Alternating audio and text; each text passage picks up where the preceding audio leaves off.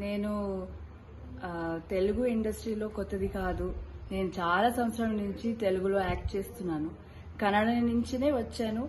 తెలుగులో చాలా మీరందరికీ దగ్గర అయ్యాను అంటే ఇప్పుడు ఇప్పుడు నా నాకున్న ప్రాబ్లం మీతో చెప్పాలని ఈ ఈ వీడియో పంపిస్తున్నానండి.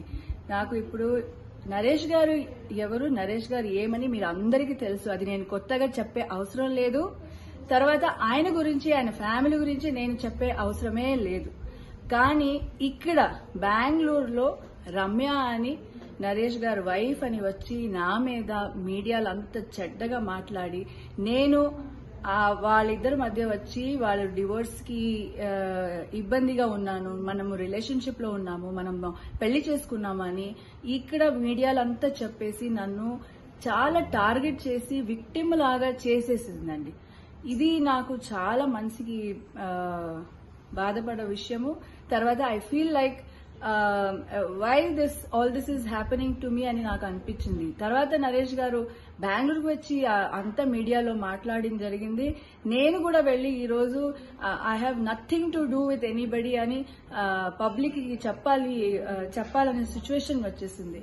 ఇది నాకు కరెక్ట్ కాదనిపిస్తుంది. ఎందుకంటే ఫ్యామిలీ మ్యాటర్ ఉంటే నాకు హస్బెండ్ కావాలని ఒక కోరిక ఉంటే అది మనము ఫ్యామిలీలోనే ఇది సెట్ చేసుకోవాలి.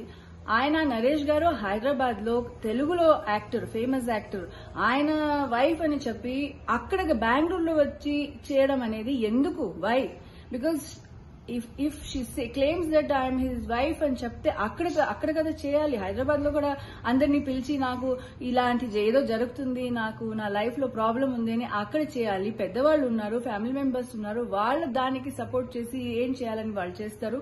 బెంగళూరుకు వచ్చి అంత చాలా బ్యాడ్గా నన్ను ప్రెజెంట్ చేసి అలా చేసేసారు. ఇది కరెక్ట్ కాదని నాకు అనిపిస్తుంది. But uh, anyway, I, I, I request uh, all of you to support me and Naresh Garu. This is all I can say, and thank you very much.